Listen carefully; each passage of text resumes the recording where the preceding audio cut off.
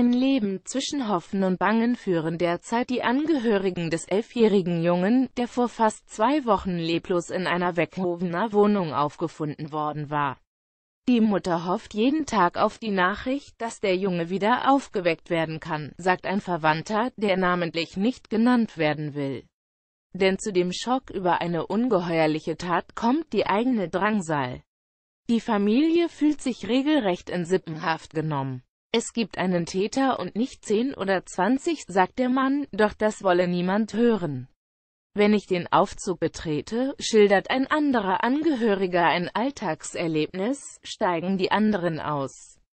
Aufgeweckt wurde der Junge auch am Montag nicht.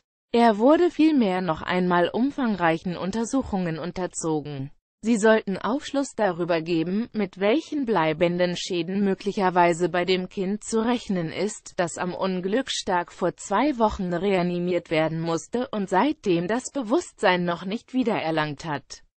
Die Ärzte, so teilten Angehörige gestern mit, wollten noch eine Reihe von Testergebnissen abwarten, bevor sie eine Prognose abgeben möchten. Angehörige bezeichnen Verdächtigen als Gewalttäter als dringend tatverdächtig, gilt Sven F. 41., der Onkel des Jungen. Er hat die Misshandlungen gestanden und sitzt seitdem in Untersuchungshaft.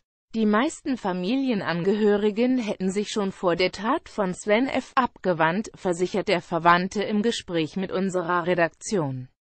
Das ist ein Gewalttäter, sagt der Mann, der an F. kein gutes Haar lässt. Selbst gegen die eigene Mutter sei F., der wegen Körperverletzung ein Jahr Gefängnis verbüßt hat, in der Vergangenheit schon gewalttätig geworden. Aber immer hätte sich seine Aggression gegen Erwachsene gerichtet. Was kann einen dazu treiben, nun mit Kindern so umzugehen, fragt er. An der Kampagne gegen die gesamte Familie stört die beiden Gesprächspartner auch, dass das Opfer, ein lebhafter und neugieriger Junge, darüber vergessen wird.